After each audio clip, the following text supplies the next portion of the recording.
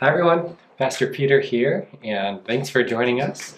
We're doing something a little bit new here today, online Bible study, and uh, I'm excited to join you all in this. We'll kind of see how it goes. Uh, my first time doing it, I think, so I got some things to work out, some uh, technology to learn, and so just hope you bear with me.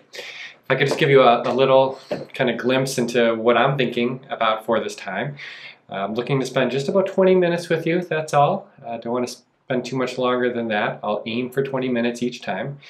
And for now, what we're going to do is take a look at the Bible passage that we'll be preaching on in the coming weekend. And so we have been working our way through Genesis. We're going to be in Exodus this Sunday. And so just want to give you a little uh, foretaste of that Sunday reading, uh, maybe give you some time to think about it. So when you show up on Sunday, not hearing this Bible passage for the first time, but uh, you've learned a little bit about it. You've let the Word of God sink into your heart and, and, mind. And that way, when you come to Sunday, you can kind of mine the depths of God's Word with us as we preach. And so uh, that's my, kind of my hope uh, to give us a little glimpse of Sunday morning, prepare us for for that and to spend about 20 minutes. And again, today we're going to be in the book of Exodus chapter 3. Uh, we left off with the, the story of Jacob, and uh, to be quite honest, a lot has happened since then, but we'll, we'll get to that for a, uh, in just a second. I do want to ask you a, a question uh, to start off, one I want you to be thinking about the whole time. Actually, two questions.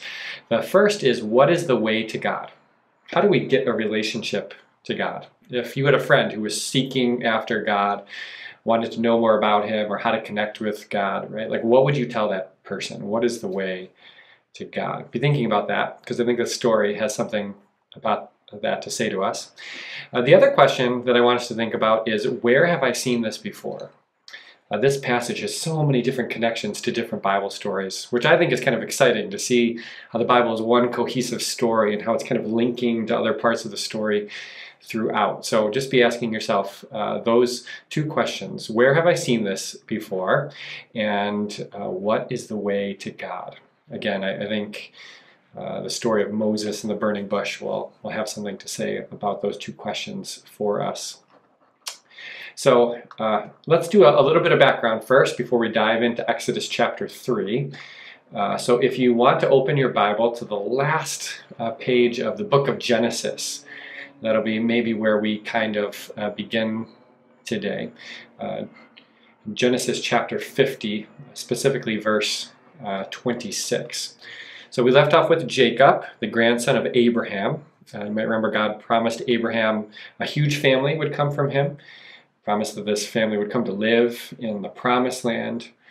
Uh, we get to Jacob, his, his grandson, and then Joseph, Jacob's son. And what we find at the end of the book of Genesis is that that special family from Abraham is now living outside of the promised land. Uh, they're no longer there. Uh, through Joseph, they've come to live in Egypt.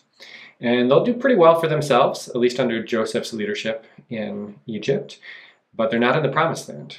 Uh, of course, God is always with them, but in, in another sense, they're, they're away from God's presence, away from his land of promise. And so we, we read there in Genesis 50 Joseph died at the age of 110, and after they embalmed him, he was placed in a coffin in Egypt. And that, that's leading to some tension within the story. Uh, maybe you've heard me say or others say that the, the book of Genesis and really the Torah, the first five books of the Bible, really the whole Bible, is this story about how God wants to be with his people. Right?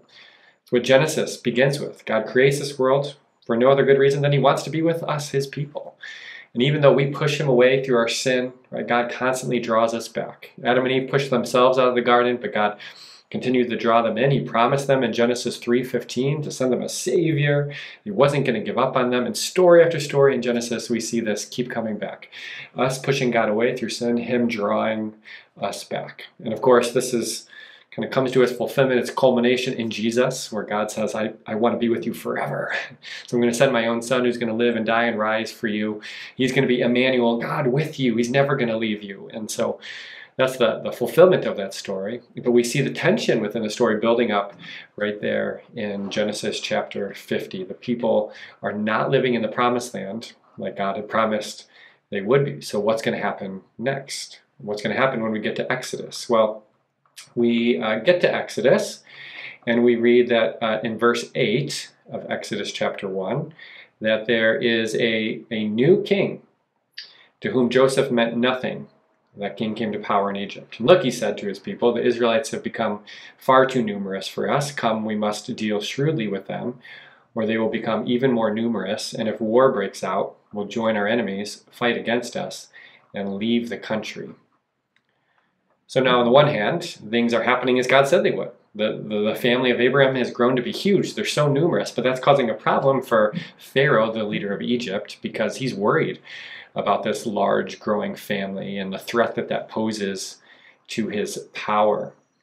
And so he says at the end of uh, chapter 1 in verse 22, he says, Every Hebrew boy that is born you must throw into the Nile, but let every girl live. Uh, all right, now I asked you that question at the beginning where have I seen this before? Where have I heard this before? And here's maybe you're getting the first glimpse of that. Can you think of another story where some maniacal king tries to kill all the baby boys? Story of Jesus, right? What happened to Moses in his day? Moses was one of those baby boys that Pharaoh was trying to kill. Happens in the life uh, of Jesus as well. There's some some pretty interesting connections there, and that's just the first one. Uh, but in fact, Moses, in many ways, is kind of a Christ-like figure. Uh, of course, he was uh, a maniacal king tried to kill him along with all the other baby boys, just like what happened with uh, Jesus. Uh, but Moses, will come to learn, was also a shepherd, like Jesus, our good shepherd. And uh, there's there's a few more, but we'll we'll maybe get to those uh, along the way. And so into the, the people of Israel, while they're living in Egypt, Moses is born. And here we come to chapter 2 his mom knows about the fact that Pharaoh is trying to kill her son along with the other boys. So she's determined to save him. And it says in chapter 2, verse 3 But when she could hide him no longer, she got a papyrus basket for him and coated it with tar and pitch. Then she placed the child in it and put it among the reeds along the bank of the Nile. And his sister stood at a distance to see what would happen to him. Now, we don't have uh, the time to kind of cover the whole story of Moses. Uh, but here's another interesting connecting. Where have I seen this before? Can you think of another man earlier in this story who went into a little boat that sat upon the water that got rescued? This is the story of Noah replaying itself over again. And in fact, the ark was coated with tar and pitch. I think it's the only two times in the Bible, Noah and Moses, that something is described in that way. Uh, there's so many cool connections here with the rest of the Bible. But bigger point being, God has uh, has rescued Moses, taken care of him, and uh, watched over him this whole time. And so Moses, although he's an Israelite boy, is, is not killed. In fact, he, he grows up in Pharaoh's household, in the household of Egypt. Uh, but when we meet him in chapter 3, he is now a shepherd tending to the flock of his father in law. So that's where we'll pick up. And maybe I'll just read some of chapter 3, and uh, we'll just kind of talk about it as we go. It says, chapter 3, verse 1 of Exodus Now Moses was tending the flock of Jethro, his father in law, the priest of Midian, and he led the flock to the far side of the wilderness and came to Horeb, or another name for Horeb that maybe you've heard is Mount Sinai, same place, just two different names for it. Came to Horeb, the mountain of God. And there the angel of the Lord appeared to him in flames of fire from within a bush. Moses saw that though the bush was on fire, it did not burn up. This is a really important passage. So here's Moses. And again, he's tending his sheep, kind of minding his own business. He's on the mountain of God. So this is a special place to God. And there's this tree there, some translations call it a bush, that is burning, right? And even though it's on fire, it's not burning up. Now, a couple of cool connections. Again, I'm going to this up again. Where have I seen this before?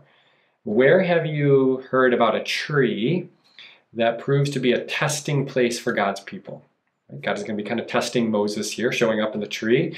Will Moses respond? Will he be a part of God's plan or not? Where else have you heard about a tree becoming a place of testing? Well, this is the Garden of Eden, right? Um, the, the tree of the knowledge of good and evil. Again, we see God kind of testing Moses here in a very similar way with a tree. The story is drawing us back to the beginning of Genesis. Uh, but then it's interesting. There's something unique about this tree. Again, it's on fire, right?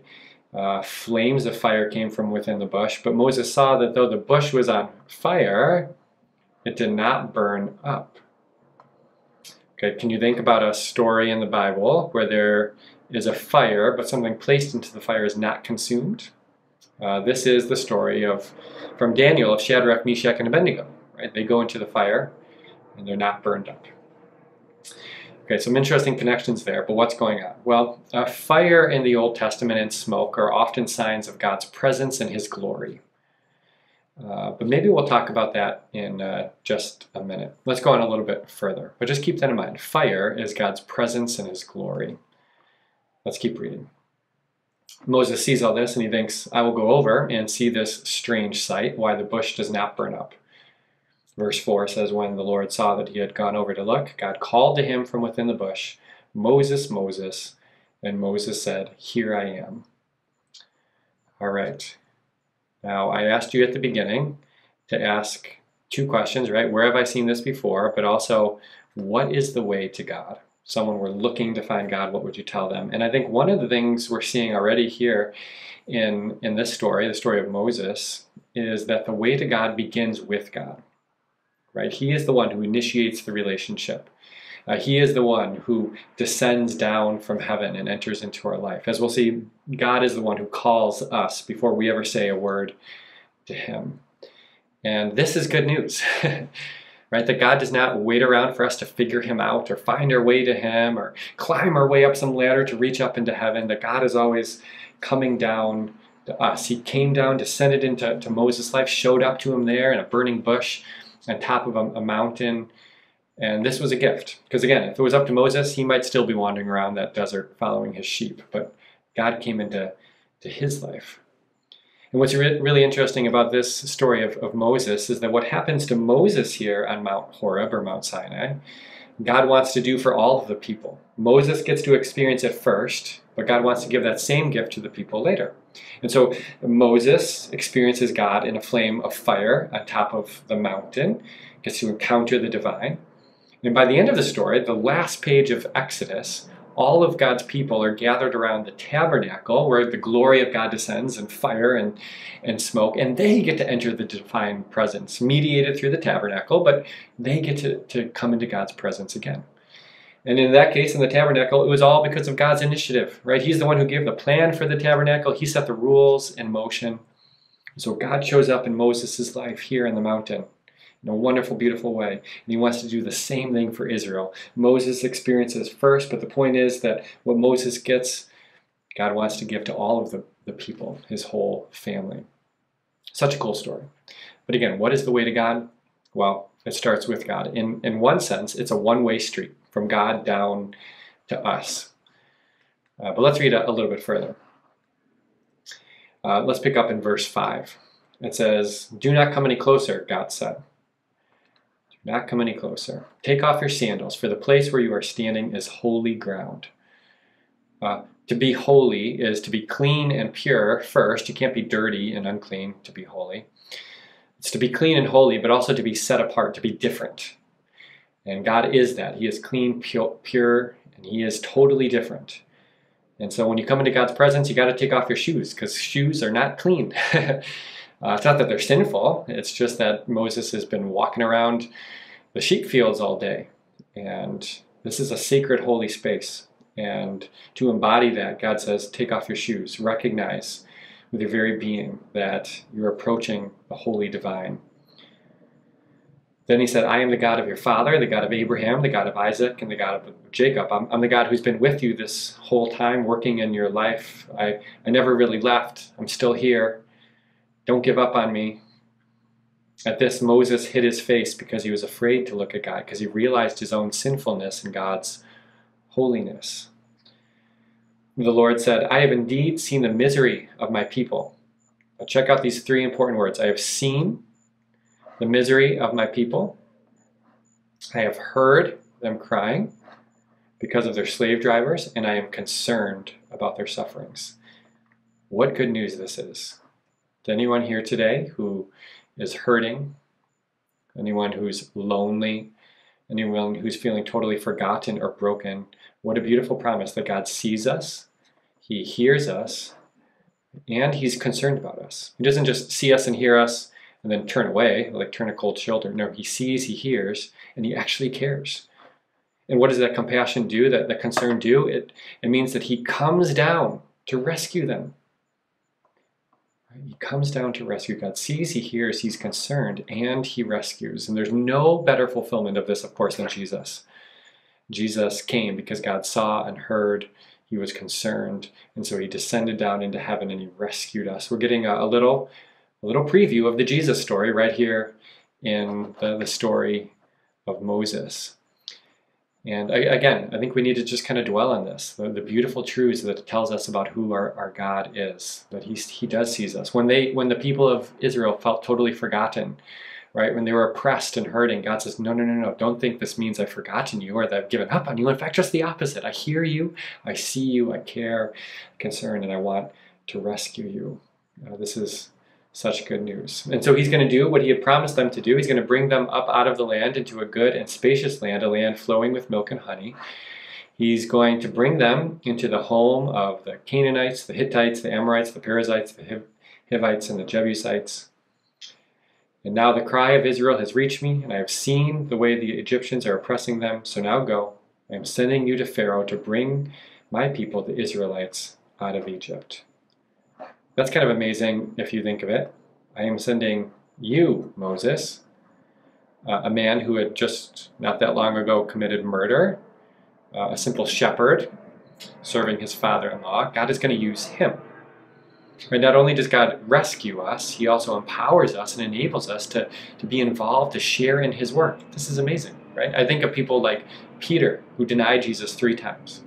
And Jesus doesn't only forgive him, but says, I'm going to keep on using you, Peter, feed my sheep. I think of the Apostle Paul, who had breathed threats against God's people. And God says, I'm not only going to forgive you for your murderous ways, but I'm going to use you, Paul, to spread the gospel all over the world. And what does that say to us? That God sees us, hears us, He rescues us, but He also wants to use us. He wants to use you. And I don't know what that would look like, but it was true of Moses, and I think it's true of us. But maybe like us, Moses has some some objections to that.